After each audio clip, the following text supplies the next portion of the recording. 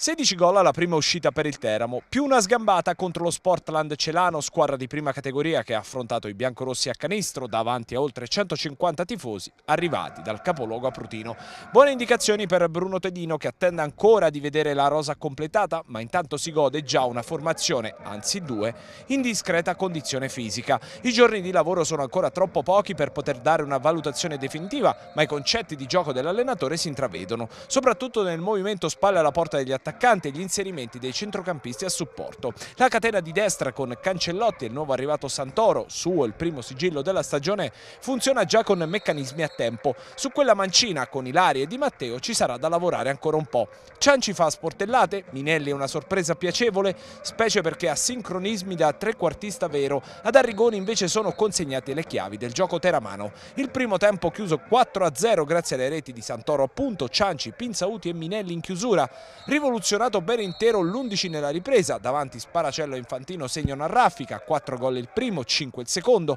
Altra bella scoperta è il centravanti Daniel Birligea, arrivato con Santoro qualche giorno fa da Palermo, ma che dimostra, al di là delle due marcature, che è in grado di sacrificarsi per i compagni, interpretando anche un ruolo, quello di sottopunta, non proprio suo. Mercoledì si torna in campo con il Capistrello, test leggermente più probante rispetto allo Sportland, in una marcia di avvicinamento ai primi impegni ufficiali a metà agosto, agosto, quando il Diavolo scenderà in campo l'11 e il 18 per la Coppa Italia. Partite quelle che Tedino conta di affrontare con la rosa definitiva perché saranno l'antipasto all'esordio in campionato di Catanzaro del 25.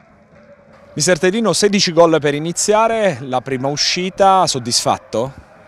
Ma sono intanto contento che non si sia fatto male nessuno, a parte Viero che ha una leggera distorsione da trauma però sì, sono contento per l'impegno, sono contento ovviamente per qualche principio che è stato messo già in campo, però cinque giorni di, di lavoro sono troppo pochi per avere un'immagine chiara naturalmente, però insomma i ragazzi stanno lavorando bene, io non posso dire nulla, anzi sono molto contento e soddisfatto di tutto quello che vedo proposto. Eh, a proposito di principi di gioco, ci corregga se, se, sbagliamo, si sono visti nel primo tempo il lavoro spalla alla porta degli attaccanti, gli inserimenti delle mezze ali, è questo che chiede Tedino? Anche, anche chiaramente adesso non, non, non, ci sono giocatori brillanti perché stiamo facendo un buon carico di lavoro, ma eh, ci sono tante cose che chiedo e quindi il gruppo che ho a disposizione sinceramente lo sta mettendo in pratica. Ripeto, imparare l'inglese o il turco in cinque giorni credo che sia impossibile, quindi un'idea calcistica è difficile metterla in pratica in così poco tempo, però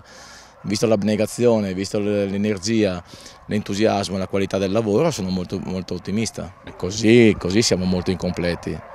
lo sa la società, lo sa Andrea, lo sa Sandro, lo sa il Presidente, lo sanno tutti, insomma è normale non è che si possa fare, avere pretese con un gruppo incompleto, noi siamo in questo momento incompleto, però su questo noi stiamo lavorando,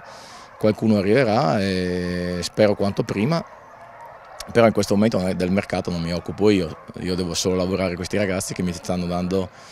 delle enormi soddisfazioni a livello umano e anche calcistico. Non vogliamo i nomi ma un, almeno i profili, almeno le zone di campo, un giocatore per ogni zona di campo sbagliamo? No, non sbagliate, però insomma più o meno sarà così, credo che queste siano le indicazioni che,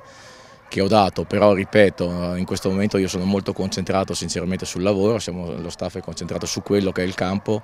e su questo noi dobbiamo noi dare sicurezza e qualità di lavoro ai giocatori.